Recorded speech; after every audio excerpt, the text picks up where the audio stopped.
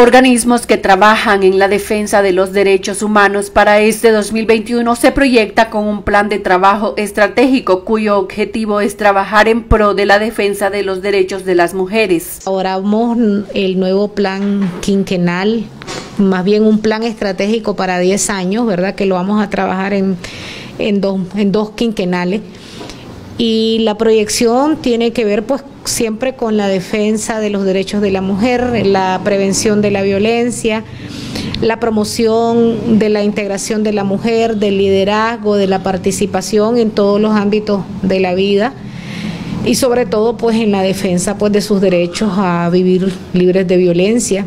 Una situación que, que, tenemos que ver todos como sociedad, los medios de comunicación, las autoridades a las que les corresponde investigar y sancionar eh, los delitos de violencia contra las mujeres, pero en general a la sociedad, pues todas, todos nosotras y nosotros tenemos que, que trabajar, trabajar desde la familia, desde la comunidad en el respeto, en el derecho a la diversidad y el respeto a esa diversidad. Ante la aprobación de la ley de cadena perpetua en el país se ha considerado que dicha enmienda viene a invisibilizar la ley 779, por lo que dentro de sus proyecciones como organismo está continuar trabajando en prevenir la violencia hacia las mujeres.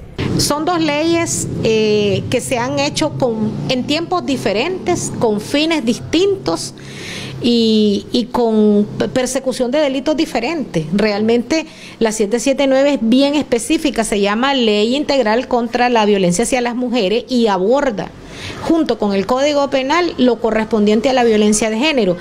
Y esta otra ley de cadena perpetua, ahí se mezclan muchas cosas. Creo que no, no tenemos, ¿verdad? Desde ningún punto de vista, tratar de mezclar que la una tiene que ver con la otra porque no es así. En este mes se realizará una campaña con el fin de prevenir la violencia hacia las niñas menores de 18 años y de esta manera evitar que mujeres continúen muriendo desde Matagalpa a Flor de Lisordóñez.